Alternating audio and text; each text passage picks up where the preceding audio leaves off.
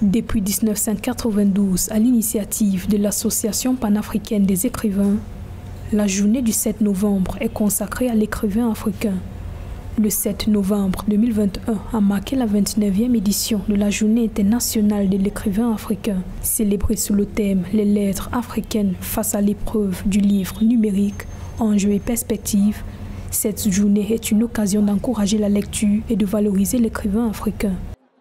La journée internationale de l'écrivain africain est un prétexte pour évoquer la question du livre en Afrique. Déjà, le fait qu'il est difficile pour un auteur africain de trouver sur place dans son pays un éditeur qui pratique du compte d'éditeur, c'est-à-dire qui ne sollicite pas financièrement l'auteur dans la fabrication du roman.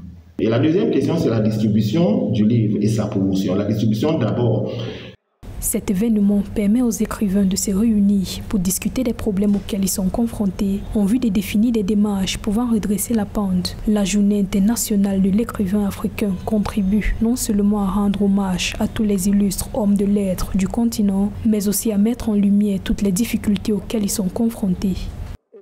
Pour les auteurs africains qui sont capables de publier dans les maisons à compte d'éditeurs à Paris, il est très compliqué de rapatrier le livre en Afrique et donc on se retrouve dans des situations où les auteurs africains sont lus par tout le monde sauf par les Africains et ça c'est un problème. Nous ne parlons pas de la distribution, de, la promotion. Euh, c'est des choses qui restent à découvrir et c'est un problème vraiment dans la mesure où euh, toute civilisation qui aspire à la survie devrait se préoccuper de ce qu'elle met dans ses bouquins.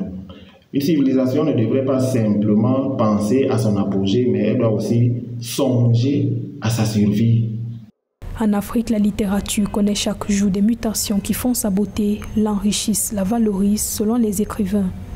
La journée internationale de l'écrivain africain, décrétée par les Nations Unies le 7 novembre 1992, est une belle occasion pour rappeler aux écrivains africains qu'ils sont une part importante de l'histoire de la littérature.